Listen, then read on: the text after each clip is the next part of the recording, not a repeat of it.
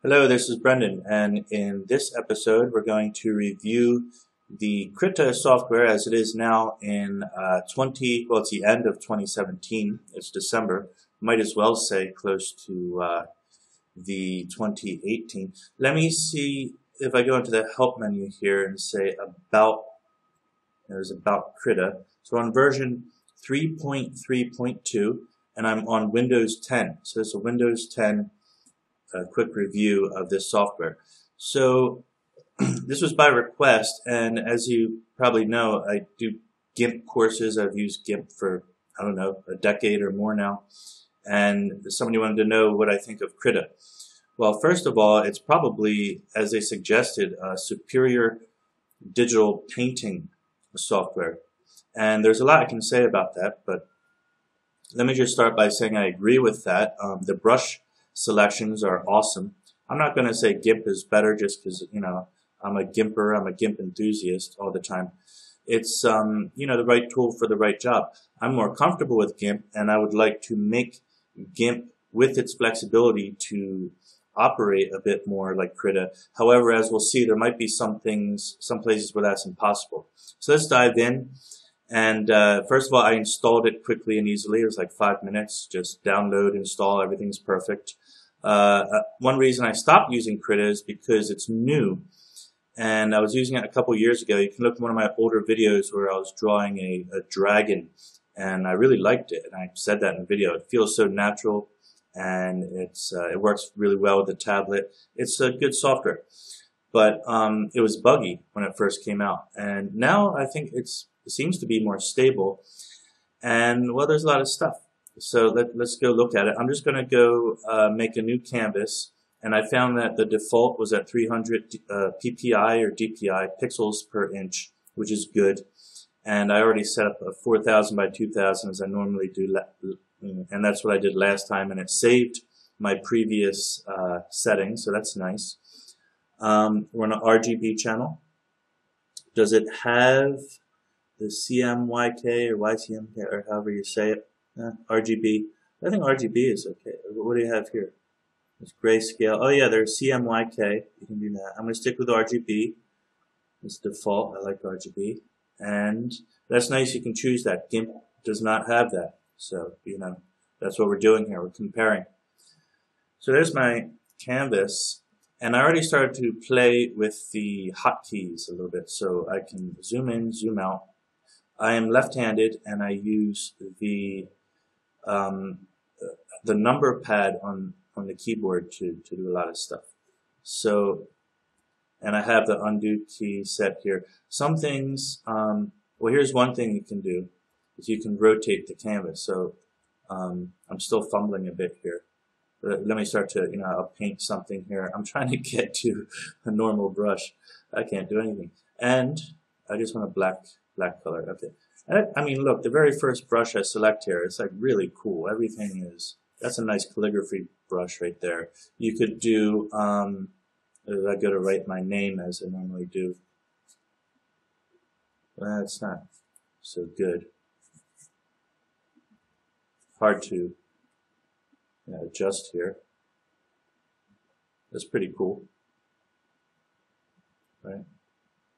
Not getting it as I normally do that's, uh, hey, I might even use that, you know, for my next signature.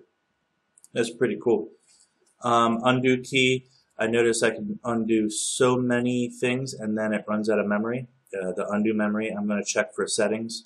And so the first thing I wanted to do was to check, you know, hotkeys and stuff. So, and so far so good. I could set up a lot of what I wanted, how I wanted it, which is not true in Photoshop. They don't allow you to use the number keys and they seem to force you to use control a lot and I really really don't like that. I just I don't have enough fingers. I'm sorry. I can't do that.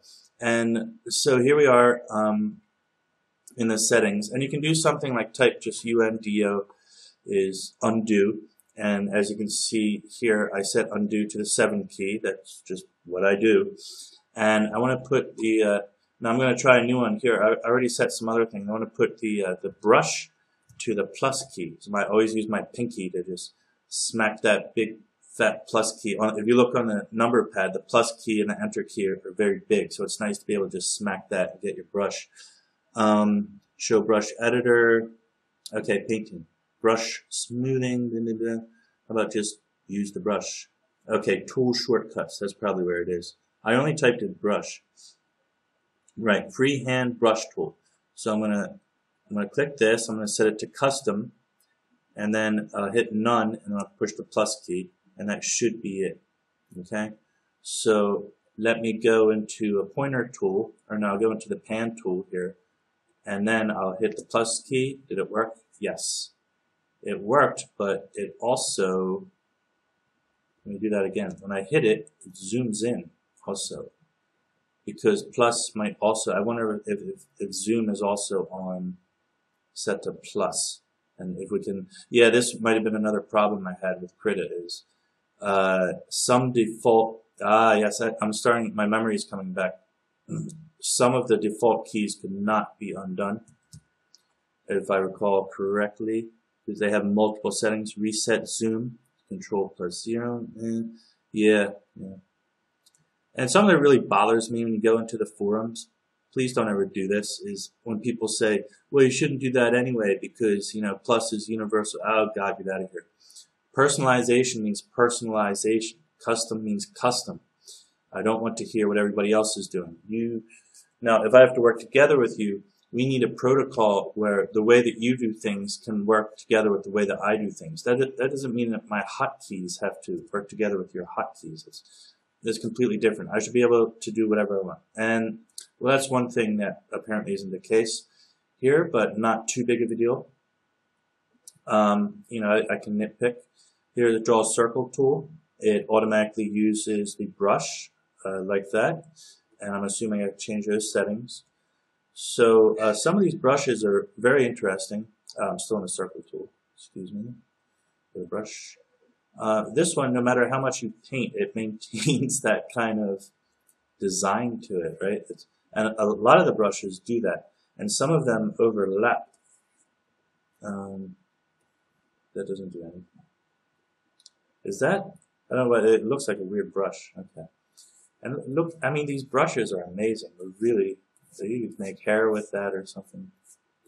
You could do, well, you could do a lot with that. Some people strictly use this type of brush for the entire painting. And now I, I have very good memory here. And can you see when I, look when it overlaps, see those boxes that come out until I let go. And then it, it finishes it. I know why it's doing that. And um, I, I'm not sure if I can explain it, but I think it's rendering certain. Uh, it, it's trying to pre-render the the final outcome in a way that will be more realistic, and that's obviously not an easy thing to do. It's kind of a glitch. So that could be annoying if you start if you want to paint around like here and see things. You know, yeah, see it changes when I let go when I when I let off the tablet. So I don't really like that. Um, it's uh, clearly a bug that needs to be worked out. However, it's not that big of a deal. Now let me see how many undos I can do, and that's it. See, I want undo, undo as much as I could, and it ran out. So here in this, so I got a painting very quick. Uh, the settings are there, and if that memory problem is a big issue, I could just add, always add new layers every like you know, so many brush strokes and delete things as needed. Not the biggest deal. The, uh, the shape tool I found to be interesting. Everything works. So as far as drawing goes, it's good that the interface just seems a little buggy is all. But it's stable. It hasn't crashed yet. Text tool. Let's see how this works. Uh, do I have to select size? Yeah. I remember that having problems with the text tool. Also, I had to, I was drawing a comic in Krita and I, I stopped and I moved it over to, is this? Okay. I had to move it over to GIMP to finish. And that's, that's bad because GIMP is famous for having bad text tool. Um, let's see what happens. This is a demo. All right. So how do I manipulate that now? Can I move it? push the arrow key.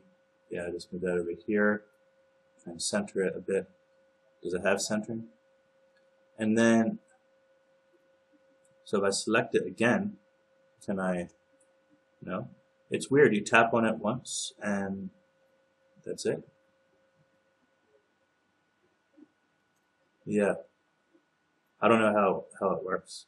I, I'm not saying it's bad, but it's not, well, it's not intuitive.